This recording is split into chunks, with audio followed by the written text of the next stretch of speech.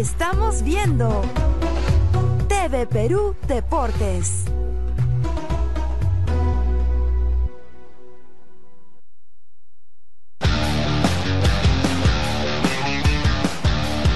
Se vienen partidos por el torneo descentralizado en su etapa de clausura, por supuesto, y también de la Sudamericana.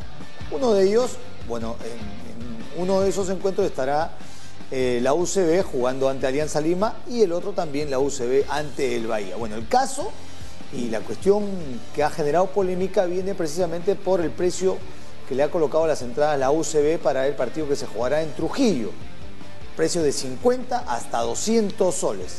La declaración de Gian Ferrari ha despertado, bueno, también reacciones inmediatas de los hinchas de Alianza Lima por estos precios. A la UCB no le importa, eh, o mejor dicho, quiere ser local como sea. Está en su derecho. Está en su derecho, por supuesto, pero se vienen reacciones. Para Luis Trujillo y Miguel Araujo, Alianza no puede ni debe dar ventaja a la César Vallejo, rival del fin de semana, si quieren seguir invictos en el torneo. Vamos a ir a hacer un buen partido, es lo más importante.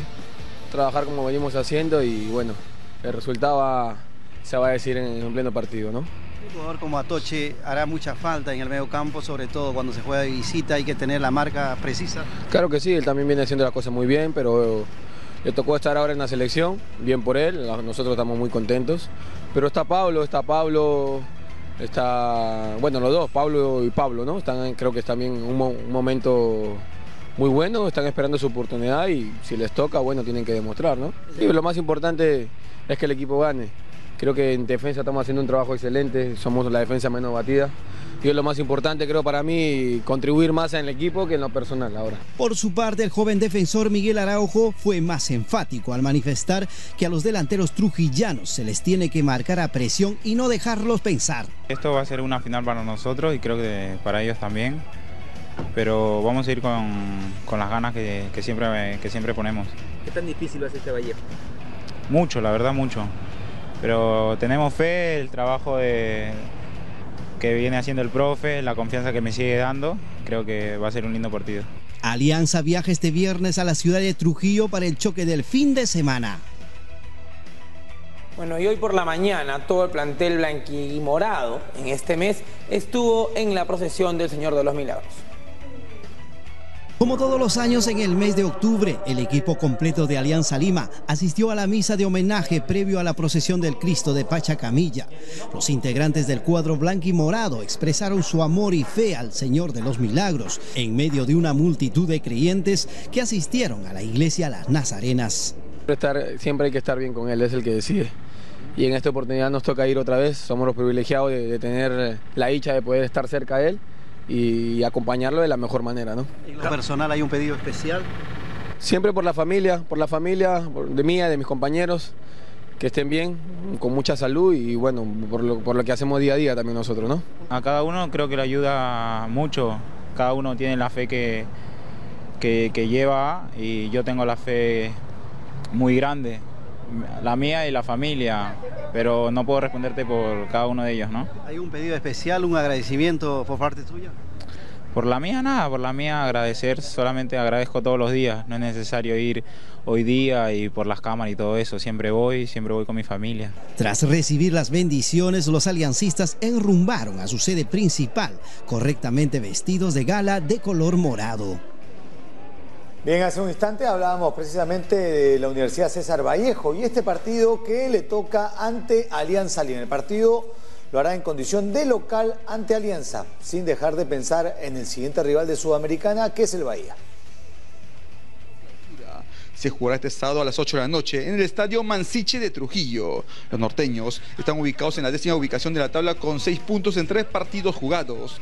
Los encuentros contra la Universidad San Martín y León de Huánuco fueron postergados por estar jugando la Copa Sudamericana. En cambio, Alianza Lima jugó las 5 fechas de clausura y está en el segundo lugar con 11 puntos a 1 del líder Melgar de Arequipa.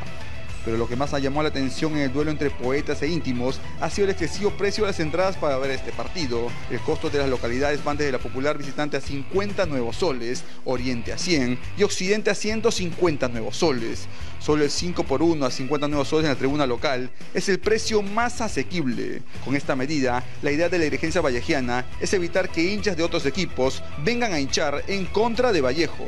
Lo que llama la atención de estos precios es que en la Copa Sudamericana ante Bahía de Brasil, César Vallejo ha puesto costos muy módicos que van de 30 nuevos soles en Butaca y 5 nuevos soles en las populares.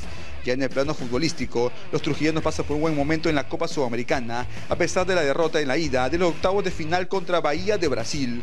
El próximo miércoles 15 de octubre será el choque de vuelta entre los brasileños y será la gran chance de los poetas para seguir con vida en este torneo continental. Yo insisto, nadie puede reclamar nada con respecto a los precios. Eh, yo creo que es su derecho, pero reclamar si puedes. O sea, es la... ¿Qué vas a reclamar? Como que yo te reclame, ¿por qué pintas tu casa de azul? Tú puedes reclamar, o sea, la opinión, el reclamo, yo creo que es el justo derecho de cualquier aficionado. O sea, porque hay un partido de vuelta también. ¿Qué va a pasar cuando Alianza, que no creo que suceda, coloque entradas para la hinchada de la UCB a 50 soles? Estará en su derecho, lo podrá hacer. No, no, no estamos discutiendo el derecho que tiene la UCB, por supuesto, en su condición de local. Pero también tiene derecho a reclamar la hinchada de Alianza.